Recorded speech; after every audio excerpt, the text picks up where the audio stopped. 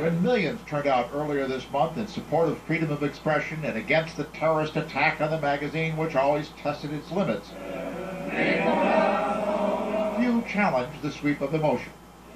But gradually, a more nuanced view is taking hold here. It began with a commentary by the founder of the magazine who argued that its editor Charb, who along with others was killed in the attack, had gone too far. I really hold this against you, Charb, he wrote. Others suggest that after the firebombing of the magazine in 2011, it was clear the threat was real, yet the editor of Charlie Hebdo, in the name of press freedom, continued to take risks some call pointless. Je crois que I believe from a moral point of view it is not good to systematically and gratuitously go on the attack. You drift in a useless direction. A public opinion survey taken after the murders of Charlie Hebdo's editors and cartoonists indicates that four out of ten French would agree, believing that it's better to be prudent than publish the kind of caricatures of Muhammad that they did.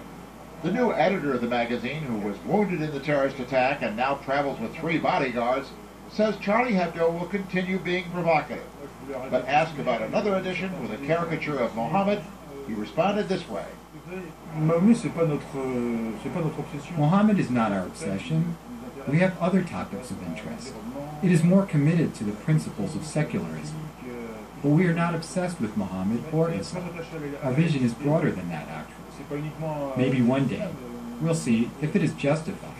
We will not do it gratuitously. Long before the attack at Charlie Hebdo, comedian Patrick Timsit began planning his Paris review entitled You Can't Laugh at Everything, a send-up of political correctness and community sensitivities. The advertising for the show is a caricature of the comedian dancing with a bomb, a drawing now ordered changed by the advertising company. Apparently in France these days, you indeed can't laugh at everything.